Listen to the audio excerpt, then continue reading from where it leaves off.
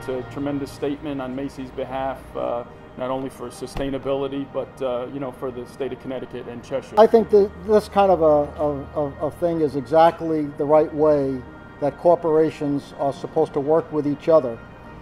And um, Macy's is very focused on what we would call a lot of, of what we call important brand values. Certainly, our focus on the customer, our focus on community. And the extended value of focus on the community and you count is, is, is give back and to be a sustainable organization. And we have been, uh, I think, very much a leader in our industry at this. The partnership and the teamwork of working with Bloom and working with the state of Connecticut. Uh, and it's a real teams win uh, kind of adventure. It's a win-win situation for Connecticut. It's a win situation for Bloom. It's a win situation for Macy's. So how could you get much better than that? We like working with leaders uh, because leaders lead.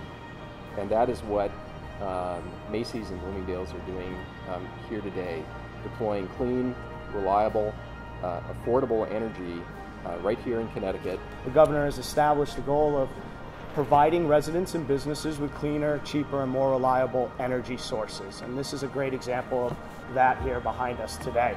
Congratulations on becoming another Connecticut business that is reducing their energy costs and providing the ability to sustain critical operations during extended power outages. Collectively, we all benefit from projects like this. I want to tell you that when Macy's Bloomingdale's first opened out here as a distribution center, the Cheshire Chamber of Commerce took us on a magnificent tour of how it operated.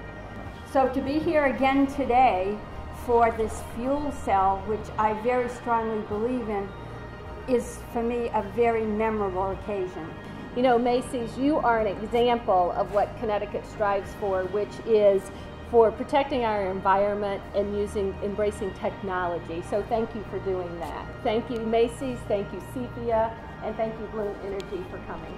Thank you.